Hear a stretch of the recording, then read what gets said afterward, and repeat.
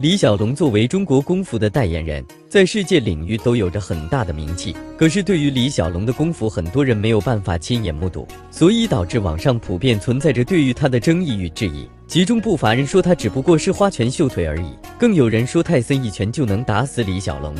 但真的是这样吗？直到一段李小龙的罕见实战对打录像曝光，我们才能得出结论，那是在一九六七年的世界空手道大会上拍摄到的影像资料。据悉，这段录像还被美国政府禁播了长达四十年的时间。在这段视频里，李小龙和一个日本的空手道高手在进行切磋，两人对阵都非常的认真，对方不时的出拳试探李小龙，可是李小龙一点不慌，不过对手拳脚，轻松化解好几个回合的进攻。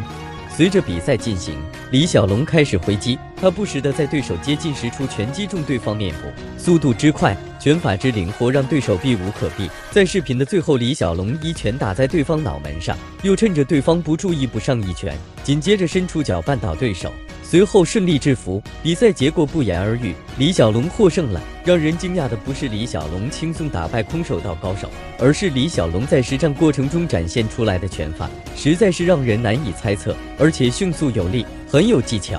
这也让人终于明白了为什么泰森要称李小龙为杀手了，因为他确实有着不凡的一身武功，这不是花拳绣腿，而是能够打得对手流血受伤的武器。不过话说回来，你觉得泰森和李小龙谁更厉害呢？